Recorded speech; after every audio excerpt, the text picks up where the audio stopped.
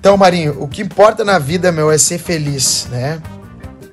E eu sei que tanto é, o sonho de um, de um lutador é se tornar o maior sonho, acho, é ser um, um peso absoluto faixa preta, né?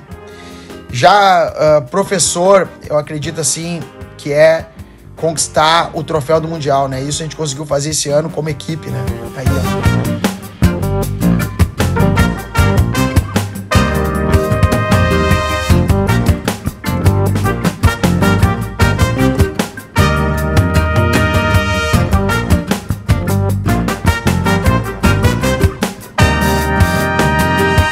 Isso aqui para mim é um sonho que se realizou, né? Ainda mais do jeito que foi. E poder estar tá com ele aqui dormindo todo dia do lado e feliz, isso é para mim é o maior sonho como professor. Aliás, a gente ganhou de 350 uh, equipes, né? E uma das coisas também que eu fiquei muito feliz foi o trabalho que a gente faz lá em Porto Alegre, não querendo viver uma ego trip, né?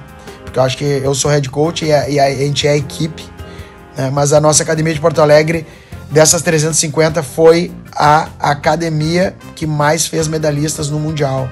Então, isso mostra que a gente está no, no, caminho certo, que o nosso trabalho é, de verdade, é sólido e, e eu estou bem realizado aí com, com tudo que aconteceu.